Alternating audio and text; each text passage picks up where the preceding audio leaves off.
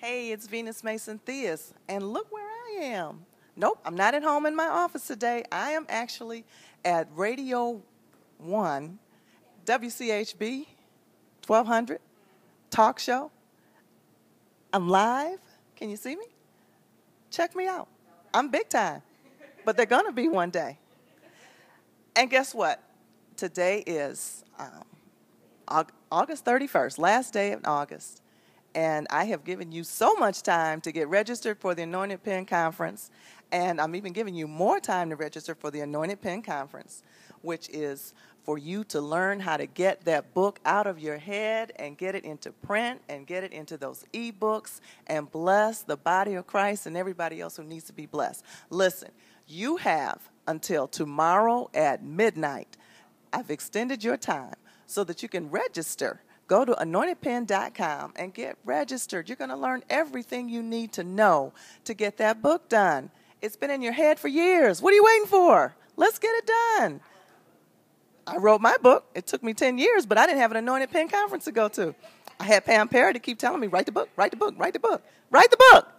Come to the anointed pen conference, and you can meet uh, Kendra Norman Bellamy, who has written 22 books. Many of them are best selling and Essence best selling. You're going to meet Pam Perry, who is the uh, social media guru, media evangelist, and she's going to tell you how to sell these books. Because once you buy the book, once you sell the book, somebody's got to buy it, right? Instead of Mama Now.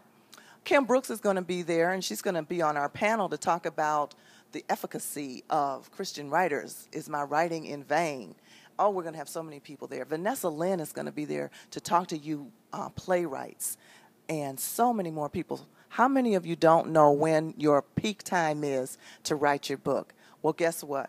Sabrina Jackson is going to be there, and she's going to help you determine your personality type and when you uh, are mo- most product, most productive, most productive during your um, your peak time when you're writing. Tammy Turner is going to be there to talk to us about networking. It's beyond just passing your um, your business cards and shaking hands with somebody and then going away and never see them again. You have to make connections. You have to establish relationships. And Tammy Turner is going to teach you how to do that. Jesse Cole and Dara Nicole are teen advocates, teen mentors. They're going to be there to teach those of you who are in ministry for teens how to write books and also how to hold um, conferences and workshops that will hold the teens' attention so that you can minister to these teens.